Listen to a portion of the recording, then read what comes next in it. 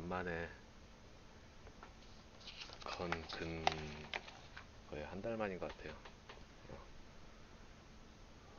그동안 좀이 자리 배치도 좀 바꾸고 보시면 뒤를 보시면은 전에 있던 그런 배경하고는 좀 다르죠. 어, 예, 아, 뜯어서 옮기는데 엄청난 시간을 보냈네 이걸.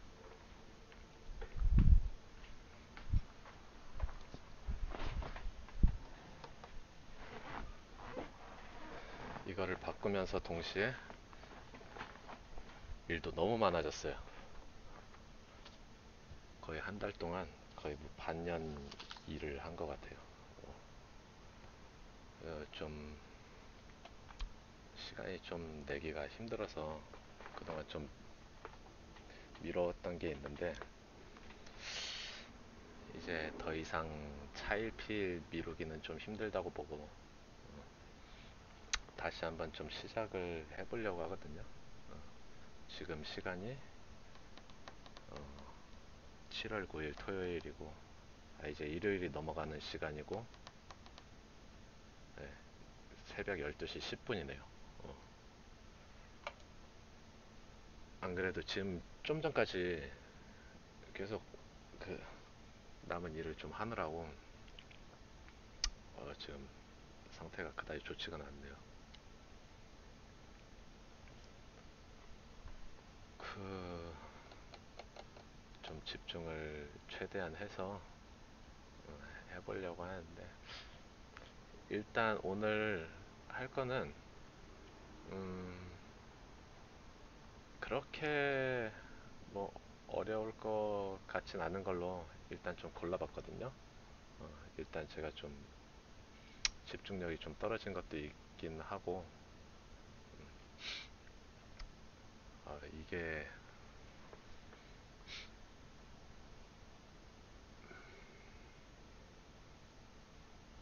뭐 일을 해보신 분은 알겠지만 이게 어느 정도 집중력이 떨어져 버리면은 어 진짜 하나 하는 것도 힘들어요.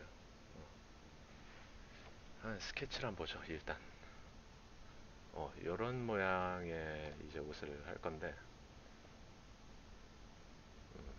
뭐 그냥 간단 그 기본 나시티에 옆구리에 이제 이런 포인트로 드레이프가 있어요. 어, 이게 그냥 어, 뭐 주름이죠. 어, 이거를 넣어보는 예, 그런 효과를 줘보려고 하거든요. 음, 음, 생각보다 그렇게 어렵진 않을 것 같아요. 어, 개인적인 생각으로. 어, 그럼 한번 바로 가보죠. 음, 뭐 간만에 늘 그랬듯이 어, 일단 시각은 시작은 사각형이에요. 아, 잠시만요.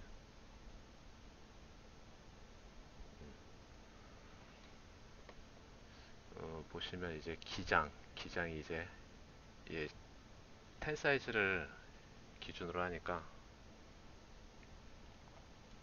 길이를 26인치로 맞추고 그 다음에 이제 가슴 사이즈를 폭으로 해서 가슴은 이제 17 반, 17 반의 절반을 나눈다. 그러면 8.75 정도가 됩니다. 그럼 여기서 목을 먼저 시작을 해야겠죠. 네, 목 넓이 741. 그러면 절반인 3.625. 이게 3과 8분의 5 확인을 하고 다음에는 이제 앞넥 앞목 드롭은 3반인치 뒷목은 8분의 7 0.875를 주고요 예 자리를 다 잡아놨으니까 여기 모퉁이를 삭제를 하, 함으로써 이제 뒷목을 깎아내고 앞목으로 선을 한 번 그어주고 이거는 이제 뭐 보신 분들은 뭐 아시리라 보고요 어, 늘 해왔던 그런 기본 패턴을 그리는 음, 방법을 다시 한번 복습하는 거라고 생각을 하시면 될 것 같아요. 그 다음에 숄더 슬로프 가장 밑에 있는 거 1, 8분의 1 먼저 자리를 먼저 잡아주죠.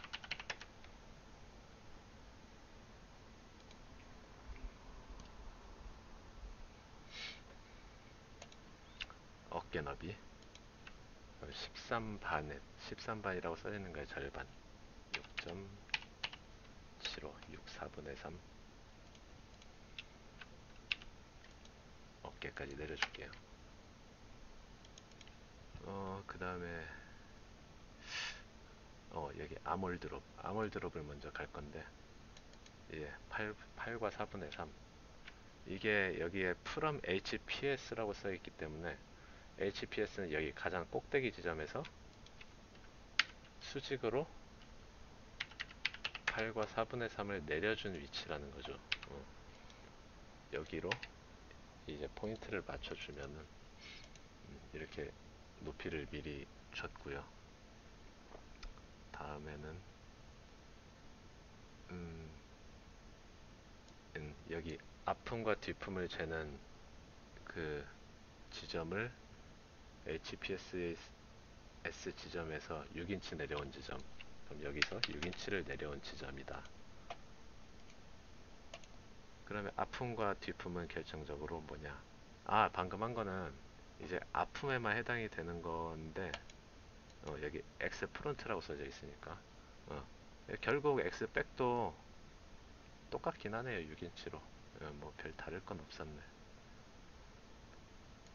across front 앞품 앞품은 이제 12 그럼 절반이 6인치로 자리를 잡아주고 먼저 끌어올게요 자 그럼 뒷품 across back edge to edge 12반. 그러면 절반이 6.25 여기는 가상선을 하나 그어주고 여기까지 끌어오면은 뒷품 라인이 예, 나오겠죠.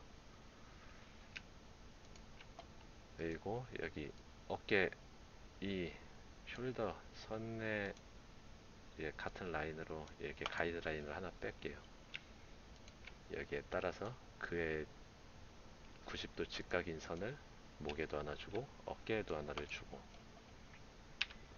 목 라인을 먼저 만들어 보죠 그럼. 안 neck은 뭐 아까 스케치 보시면 아시겠지만 그냥 일반적인 예, crew neck 어, 이렇게 그냥 보통 이렇게 동그랗게 파인 걸 crew neck이라고 해요. 어, 예, 그냥 이런 느낌으로 가면 되니까 해왔던 것처럼 이렇게 이 선을 기준으로 비슷한 비율로 이렇게 그어준 다음에 세워봅시다. 한번 절반을 피, 펴서 느낌을 보면서 뒷목을 잡아주고 앞목 음, 좀만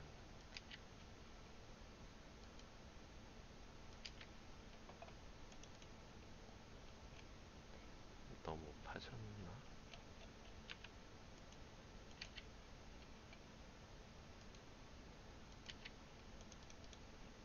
음, 제 생각에선 요 정도 하면은 좋지 않을까 어, 싶습니다.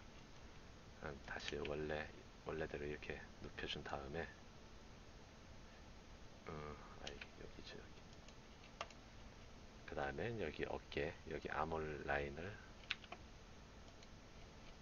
앞판을 이렇게 대략적으로 이렇게 어, 굴려주고 뒤는 그거보다 살짝만 더 파, 파는 걸로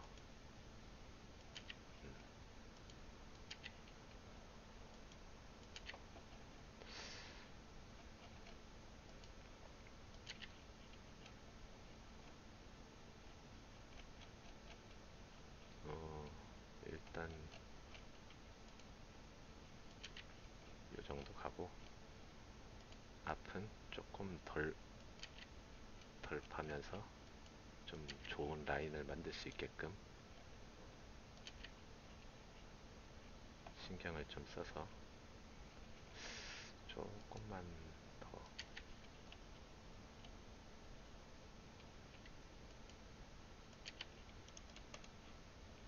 이 정도 가죠 일단. 그 다음에 이제 해야 할 것이 허리 허리 스펙이 있네요. 어, 허리는 15 반 내려온 지점에서 14 43을 하겠다.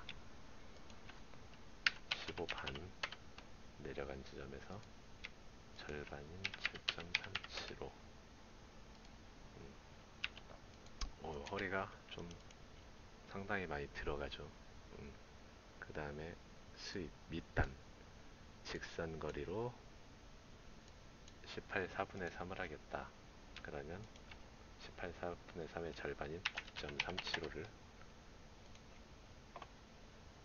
요 밑단을 여기까지 끌어가면 되겠지 음. 어, 허리가 어, 상당히 들어가는 편인데 이거 같은 경우는 어, 이렇게 하는 게 좋은 거예요 사실 이런 옷은. 이게 드레이프가 있기 때문에 만약에 허리가 널널해 버리면은 드레이프가 이게 그냥 다 이게 처지는 느낌이 나고 이렇게 허리가 좀 짱짱하게 이게 사람 허리에 딱 핏이 딱 되게끔 되면은 이게 드레이프가 탁 펴지면서 이게 느낌이 되게 어, 확실히 이게 눈에 확 들어올 정도의 그런 느낌이 들어오겠죠. 그래서 어지간하면 이런 주름이 있는 옷은 좀 타이트하게 가는 편인 것 같아요. 어, 그 점을 염두를 해두시면은 어, 좋을 것 같아요. 만약에 나중에 이러, 이런 식으로 이제 우리는 스펙을 보면서 하지만 그렇지 않은 경우도 있거든요. 만약에 그냥 진짜 진짜 그림만 줘요. 어, 그러 그래 놓고 이제 똑같이 만들어 달라는 거죠. 어, 그러면은 자신의 그 경험과 뭐 이런 가지, 가지고 있는 자료를 기반으로 해서 어떻게 하면은 괜찮은 옷이 나올지 그거를 이제 스스로 이제 하는 거예요. 어, 그게 어떻게 보면은 좀 장단이 있는데 어, 어떤 면에서는 편하다고 볼 수도 있거든요. 스펙이 없으니까 자유롭다는 거지. 어, 그리고 이제 스펙의 구애를 안 받기 때문에 뭐 그런 걸로 해서 책 잡힐 일도 없어요. 어, 그래서 뭐 이렇게 뭐 대충 해도 사실 스펙이 없는 거라서 뭐 이렇게 사실 큰 말이 오가진 않은데 중요한 건 그거예요. 좀 이제 construction을 잘 뽑아줘야 된다는 거예요. 어, 거기에 대한 이제 형태, 이제 원했던 형태를 이제 딱 이제 그 입맛에 맞게끔 뽑아주는 게 이제 가장 중요한 거죠. 어떻게 보면. 어, 좀 어려운 옷- 옷일수록, 이제 드레이프가 좀 많은 옷일수록, 어, 그런 게 더 강하다고 보고요. 사실 이게 드레이프가 있는 옷을 제가 가급적이면 좀 천천히 천천히 하려고 했는데, 왜냐하면 이거는 이제 그 패턴을 하고 나서 결과를 봐야 이제 사실 그게 좀 의미가 있잖아요. 내가, 내가 이렇게 실컷 떠놓고 나서 이게 되는지 안 되는지 사실 보는 사람 입장에서는 좀 이제 애매하니까 사실 그래서 이제 3D 프로그램이 요즘 좀 어, 각광을 좀 받고 있는 편인데 저희도 3D를 좀, 좀 준비를 해보려고 제가 사장님한테도 때를 써봤는데 너무 비싸. 어. 아, 그래서 좀 차후에 기회가 되면은 돈 벌어서 준비를 하면 좋겠죠. 어. 그때 가서는 진짜 복잡한 드레이프 막 이런 패턴도 하면은 음, 이제 보는 사람들한테 좋은 정보를 줄 수 있을 거라고 생각은 돼요. 어, 이제 기본의 형태는 요 정도를 하면 될 것 같아요. 음, 아니, 어, 어, 마땅하지 않나 싶어요. 어. 그리고 이거를 내가 언급을 한 적이 있었나 없었나를 제가 솔직히 잘 기억은 안 나는데 이 앞판 같은 경우는 예, 뒷판보다 살짝 길면 좋거든요. 그러니까 많이도 말고 한 4분의 1인치 정도를 더 길게 하는 거죠. 앞판을. 이게 이게 앞판 라인이라고 보고 이 노란 선이 원래 이제 스펙에 맞는 그 부분인데 예, 뒷판은 이렇게 이게 왜 이래야 하냐면은 이게 옷을 딱 펼쳐놓고 깔아봤을 때 그 앞뒤가 똑같을지언정 뒤가 더 긴 현상이 발생을 하면 절대 안 돼요. 어. 그거는 거기서부터 이제 틀린 옷이 돼 버리는 거거든요. 어. 그래서 그거를 좀 이제 안전하게 방지를 하는 효과도 있을 거라고 보고요. 그리고 이제 뭐 다들 제가 누차 강조를 해왔지만 가슴이 있기 때문에 어, 가슴 때문에 이게 좀 이게 떠버리는 분량이 있어서 조금 길게 해야 그나마 좀 이제 그 나중에 착용한 후에 그 밸런스를 맞추는데 조금 더 도움은 돼요. 사실 이, 이것만으로 해결을 할 수는 없지만 어 그냥 미리 어느 정도 이제 포석을 깔아놓는 정도라고 보시면 될 것 같아요. 어, 일단 이 정도를 하고 이제 떼어내 볼게요. 앞판을 먼저 떼고 그 다음은 뒷판을 떼어내고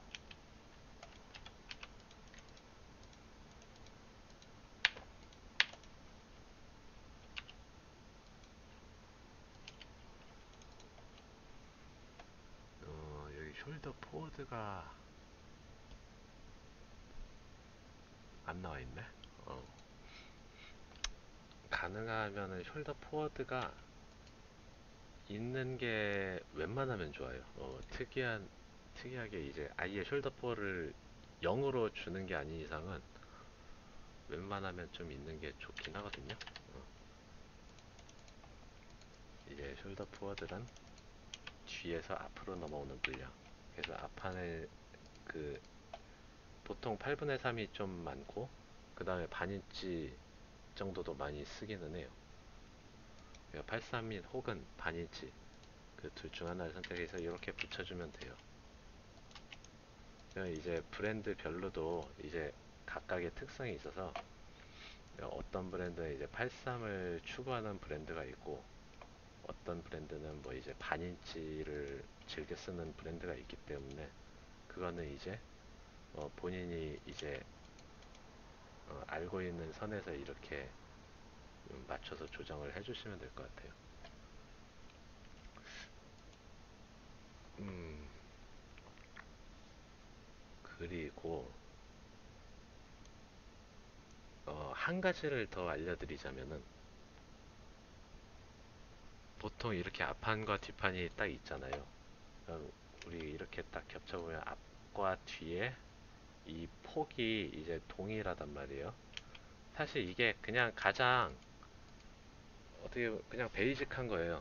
어, 그냥 똑같이 하는 게 그냥 그냥 제일 평범한 거고 이제 다른 경우가 또 있는데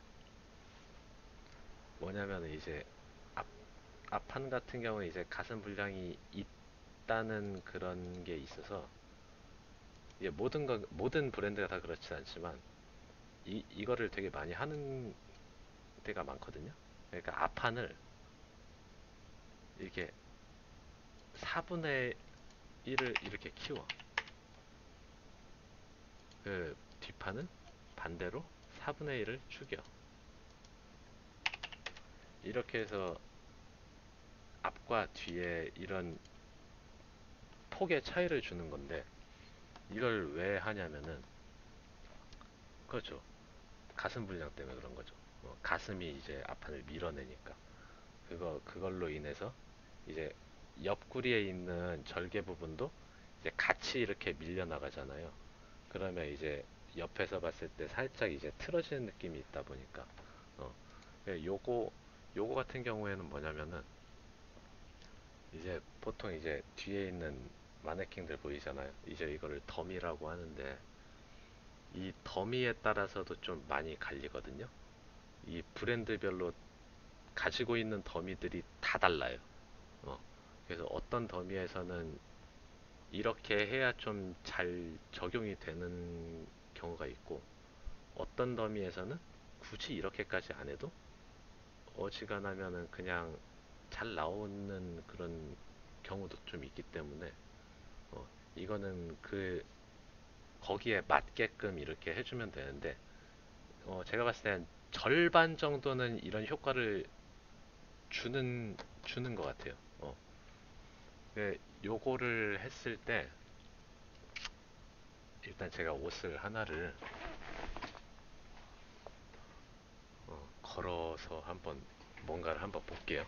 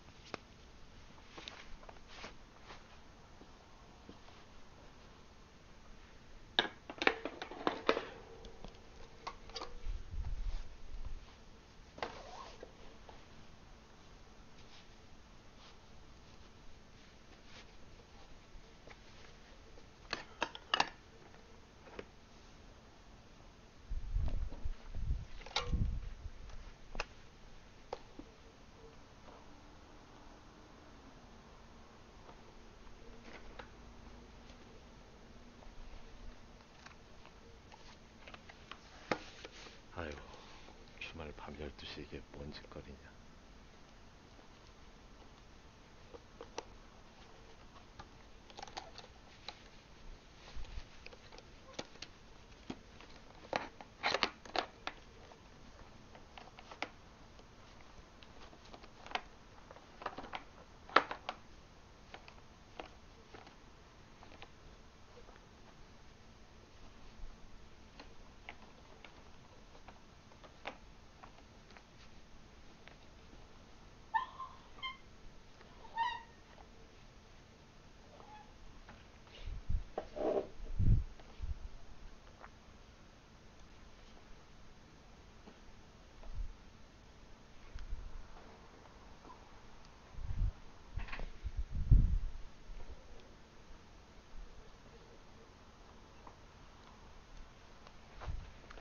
일단 옷을 제가 입혀놨는데 제가 이 부분에 대한 좀 뭔가 다른 설명을 좀 하려고 그러거든요. 어, 지금 보시면은 가슴은 그렇다 치자 이거야. 근데 밑단 옆구리까지 이렇게 제가 차이를 줬잖아요. 지금 요런 케이스는 어떤 때 하냐면 되- 하면 되냐면은 자, 좀만 안 당겨지네.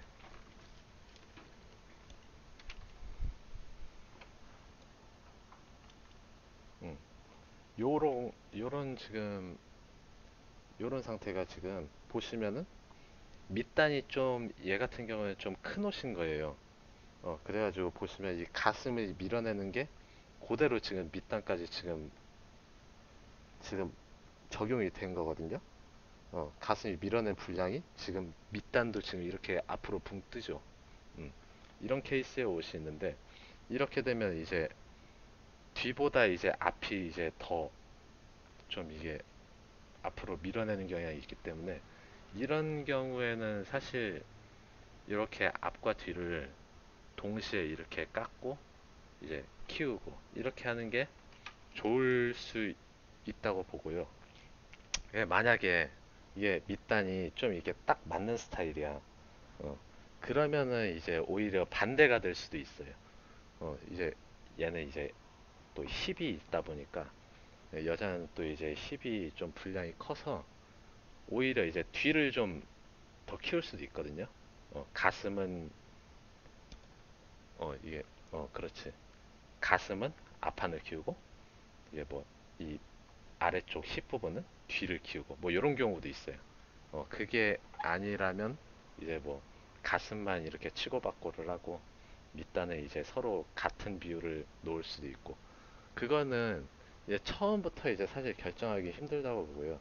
좀 진행을 하는 과정에서 그런 식으로 이제 변화가 좀 되는 편이에요. 어, 이게 뭐 그렇다는 거를 지금 말씀을 드린 거고요. 어, 이게 경험에 따라서 이제 습득이 되는 과정이라고 보시면 될 것 같아요. 어, 예, 이런 경우도 생각을 하고 저런 경우도 생각을 하면서 이렇게 수정을 해 나가는 거죠.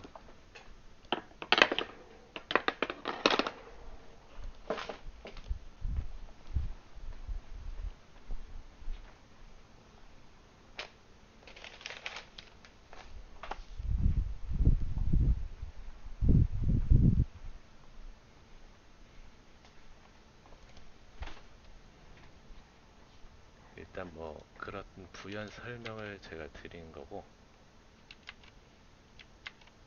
일- 저희가 진행하는 거는 일단 그거를 안 하고 하는 걸로 어, 간단 간단하게 어. 사실 뒷판은 그러면 이게 다죠. 어, 뒷판은 뭐 따로 뭐 할 게 없고요. 예, 역사는 이제 앞판에서 이루어지는 거기 때문에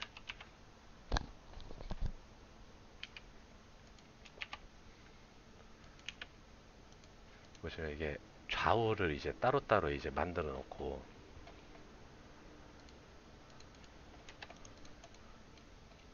예, 여, 이, 요 부분에다가 이제 그 주름을 넣어야 되는데 이게 보세요 사진이 있네요. 이런 식으로 이제 주름이 들어가.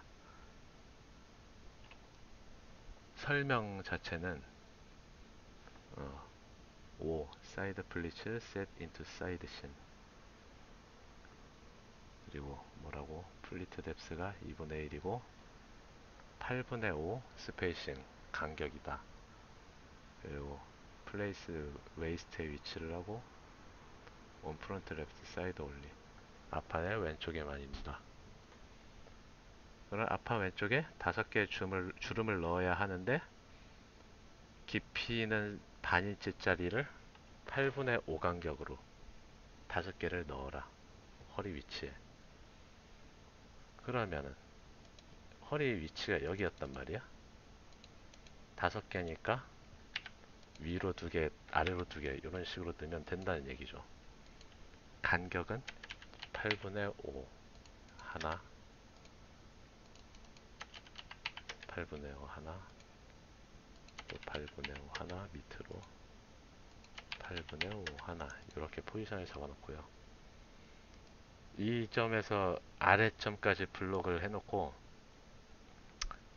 여기 위에 도구 들어가면 주름이라는 기능이 있습니다. 여기서 이제 다중주름, 음, 다중주름 만들기를 눌러보시면은 이런 주름에 대한 메뉴가 나오는데 주름 수는 다섯 개가 필요해. 5. 근데 이게 지금 보시면 이게 그 저희가 지정해 놓은 점에 정확하게 이렇게 위치가 잡혀 있질 않아요. 그것은 여기 있는 첫 번째 포인트 고정과 마이, 마지막 포인트 고정을 체크를 하면은 딱 이게 저희가 선택한 거에 대해서 끝과 끝에 딱 이게 음, 분포를 하게 되거든요. 다섯 개가 골고루. 그럼 이제 점에 정확하게 다섯 개가 이제 위치를 해 있어요.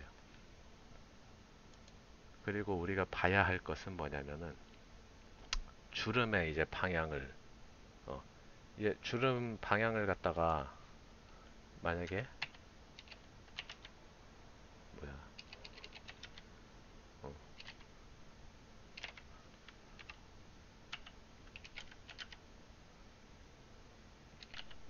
뭐 마, 이런 식으로 예를 들어서 이런 식으로 방향을 주고 만약에 폈다고 쳐보라고. 그럼 나중에 접잖아요?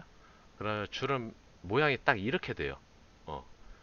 그러 이렇게 되면 사실 우리가 의도한 거랑은 좀 거리가 멀기 때문에 얘가 지금 사진을 보시면 이렇게 약간 태양 이게 빛처럼 이렇게 되게 위아래로 고루고루 이렇게 분포가 돼 있단 말이에요. 저희도 이, 이 모양을 일단 따라가야 되기 때문에 저 각도를 따라서 가는데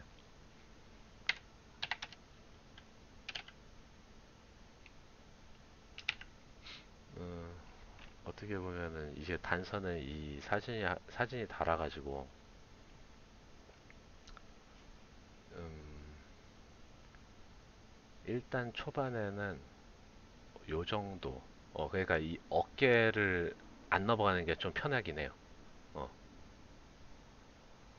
그리고 아래쪽도 그와 비슷하게 하면 되지 않나 싶어요. 한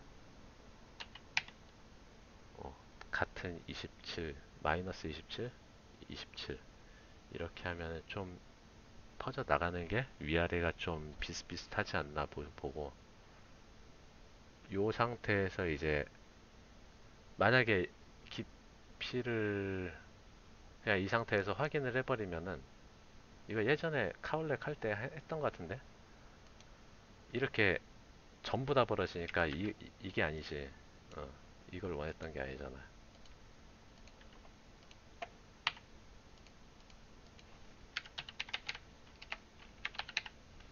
이렇게 가변. 어, 가변을 해서 첫 번째 첫 번째 우리가 선택한 이 지점이 첫 번째 지점인 거고 두 번째 지점은 여기 끝나는 지점이 두 번째 지점. 어, 끝나는 지점은 움직이면 안 되고 첫 번째 지점이 아까 반인치 뎁스라고 했잖아요. 그럼 0.5 이렇게 해서 이제 주면 돼요. 그럼 이제 요런 모양이 된단 말이죠. 이거를 이제 접고 접고 접고 접고 접으면은 이제 이런 형태가 나올 것이다 라는 건데 여기서 주의할 점은 뭐냐? 얘가 지금 주름을 밑에서 위로 접었단 말이에요. 이게 지금 그렇게 되어 있냐?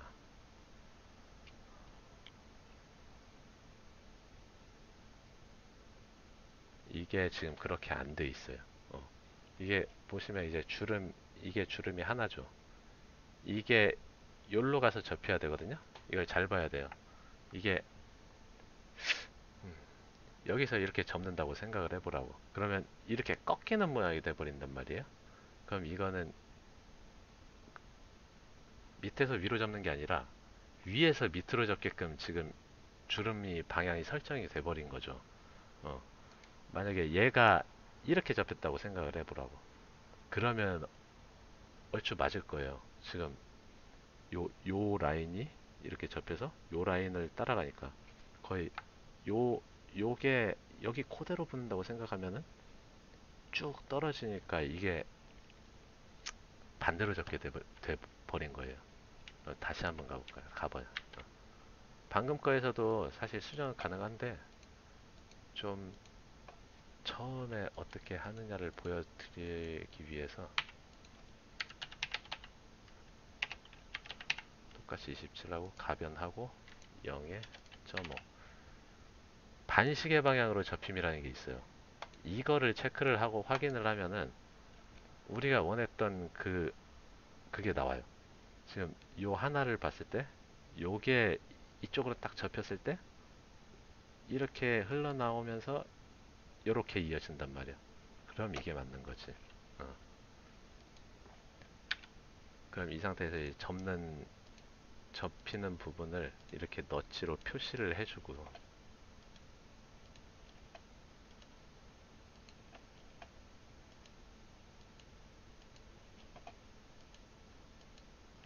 예. 예, 너치가 살짝 이렇게 막 어, 요, 요 방향과 다르게 이렇게 돼 있죠. 그럼 너치를 끝을 선택을 한 다음에 좌측에 보시면 이제 너치에 대한 이게 메뉴가 나와요. 그럼 여기 조금 보면 마우스 선택에 의해서 각도를 조절할 수 있다라는 그런 란이 있어요. 설정을 한번 눌러보면 이런 식으로 이제 내가 움직일 수가 있거든요.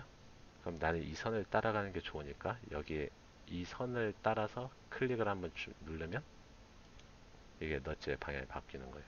어. 그럼 다른 애들도 마찬가지로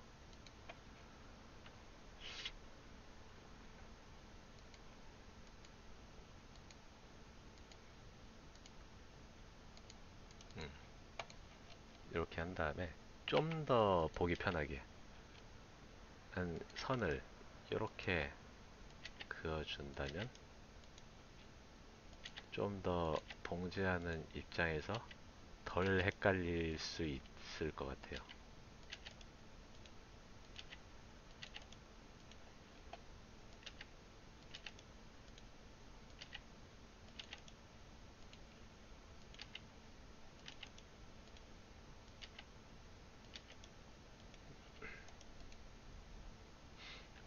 그리고 이쪽에서 이쪽으로 접겠다라는 이렇게 간단한 화살표를 하나 표시를 해주고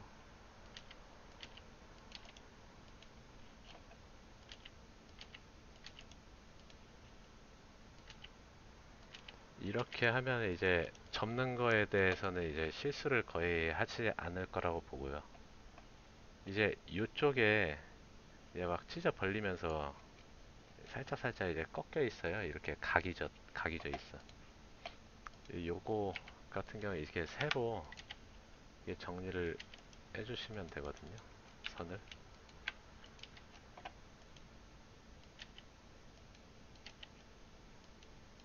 이렇게 세로 선을 하나 그은 다음에 이 내부선이 방금 새로 그은 내부선이 선택이 되어 있는 상태에서 요 위에 보시면 이제 segment 교체라고 해가지고 뭐 요런 요런 모양의 이제 어 이게 tool이 하나가 있어요. 이걸 선택한 다음에 한 번, 또 두 번 이렇게 해서 확인을 누르면 원래 있던 선과 방금 그 내부선이 위치가 바뀌어요. 어, 요것도 진행을 하면서 좀 많이 사용을 하는 기능이기 때문에 어, 옵티를 쓰시는 분들은 배우시는 분들은 아셔야 될 거예요. 어, 요거 같은 경우도 방금처럼 이렇게 한 다음에 세그먼트 교체를 해도 되고요. 근데 이제 자기가 봤을 때 그 정도까지는 필요 없겠다 싶으시면 요것만 그냥 간단하게 지워도 어, 될 것 같기는 해요. 예, 필요할 때 쓰고 좀 필요가 없다 싶을 때는 뭐 굳이 안 써도 된다는 거. 어, 그건 이제 본인이 좀 스스로 판단을 해야 될 거예요. 어, 좀 그런 약간 감각적인 문제이기 때문에. 음, 이렇게 하면 이제 사실 이게 주름 넣는 거는 끝난 거거든요.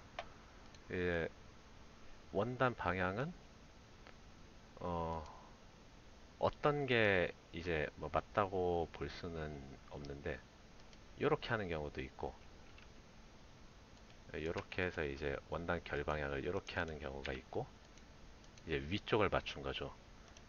뭐 그게 아니면 뭐 아래쪽을 맞출 수도 있는 거고 약간 뭐 꼭 정해진 건 아니지만 위쪽을 맞추는 게 좀 더 나을 것 같아요. 어. 이게 아래쪽을 맞췄을 때 이제 목이 약간 이렇게 어, 돌아가 있는 형태가 되면은 어, 나중에 결과물 자체가 목에서 좀 틀어질 우려가 좀 있을 것 같아서 수정 자체가 좀 힘들 가능성이 있어요. 어, 그래서 차라리 위쪽을 맞추는 게 좀 앞날을 위해서 좀 더 낫지 않을까 싶어요. 이렇게 해서 이쪽을 기준으로 이제 말을 맞춰주고.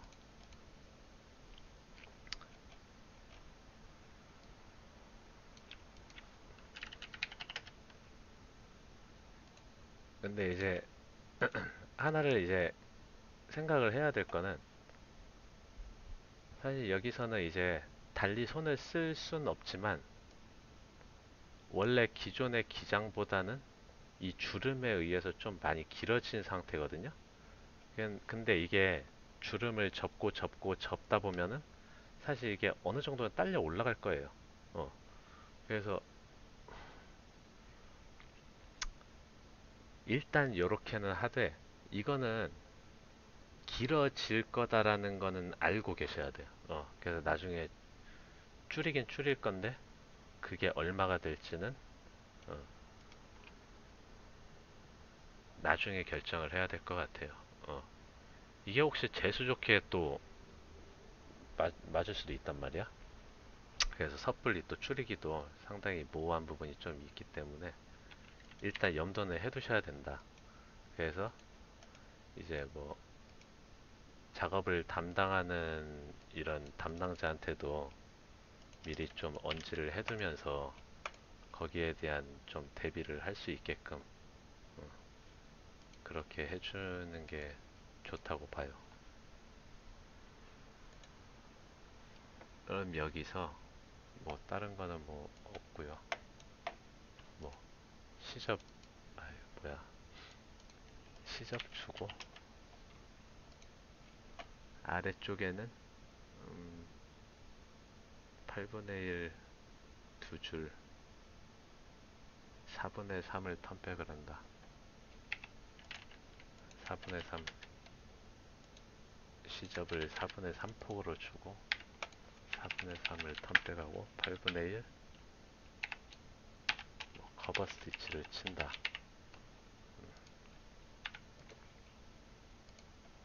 커버 스티치를 뭐 보통 가이로빠라고 할 거야 아마. 어, 그 4분의 1 폭의 가이로빠를 뭐 밑, 밑단에다가 이렇게 어, 4-3 간격 되게끔 친다고. 어. 그리고 목과 armhole은 동일하게 binding을 clean finish를 하는 걸로 한다. 어. 그거는 이제 inside binding을 친다는 거거든요. 그래서 4분의 1 시접을 주면 돼요. 4분의 1 inside binding이면 4분의 1만 주면 되고 만약에 83 in binding이었으면 83 시접을 주면 되고 뭐 이런 식이에요. 음.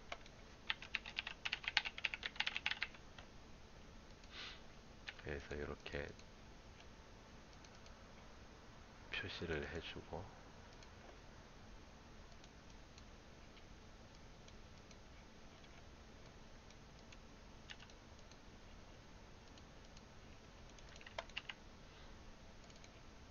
음, 나는 앞판이다. 나는 뒷판이다. 음, 뭐 이런 식으로 가면 되거든요. 왜 우리가 처음에 이제 기본 티셔츠를 첫 시간에 했을 때 그때 당시에 그거를 제가 하나 말씀드린 게 있었죠. 이제 뭐 MP를 시킨다고 어 이렇게 뭐 이렇게 찢어서 뭐 이렇게 넘기는 것도 있었고 뭐 요거를 올리는 것도 있었고 뭐 요거를 내리는 것도 있었고 그래요. 어, 근데 요런 스타일은 어 그거를 처음에는 안 주고 시작하는 게 좀 낫다고 보거든요.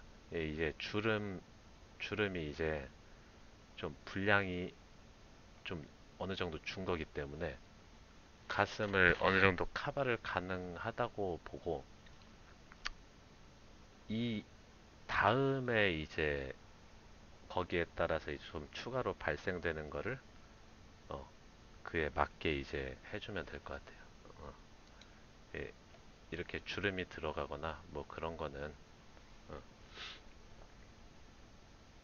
음, 일단 생각을 안 해도 괜찮을 것 같아요.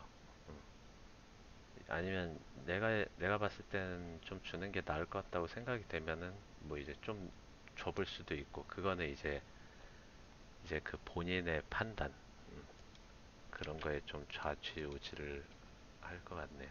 음.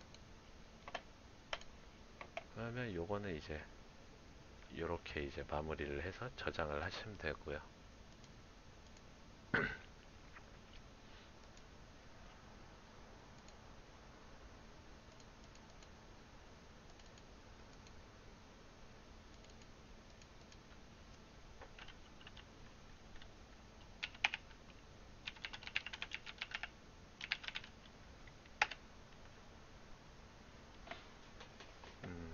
시간이 조금 어, 예상대로 좀 빨리 됐네요. 어,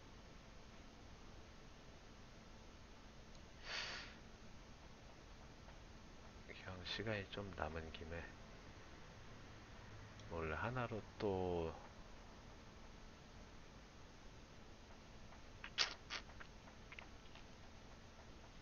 아니다. 지금 제가 좀 많이 피곤한 관계로 오늘은 심플하게 여기까지만 할까 합니다. 일단 녹화본이라서 이제 뭐 또 업로드, 업로드도 시켜야 돼서 좀, 어, 좀 잔일이 많기 때문에 일단 오늘은 여기까지 마무리를 하겠고요. 어, 다음번에는 다음번에는 grading을 한번 해보려고 생각을 하는데 음, grading을 하거나 아니면 뭐 다른 걸 하거나 네, grading을 하게 된다면 한 두 스타일 정도를 해야 되거든요. 그러니까 하나는 기본 기본적으로 하는 grading을 하나를 해야 하고 하나는 좀 이제 변칙성이 있는 음, 그런 스타일을 또 이제 골라서 해야 되는데 아 되게 재미가 아니 뭐 재미는 뭐 원래 재미 보고 하는 건 아니지만 좀 따분한 게 있어서 일단 관심이 좀 있으신 분들은 분명히 어, 있을 거기 때문에 그냥 어떤 식으로 한다 뭐 이런 것만 어, 거의 포인트를 짚어서 어, 여건이 되면 한번 해볼게요. 네, 일단 어, 오늘은 여기까지 하는 걸로 하겠습니다. 예.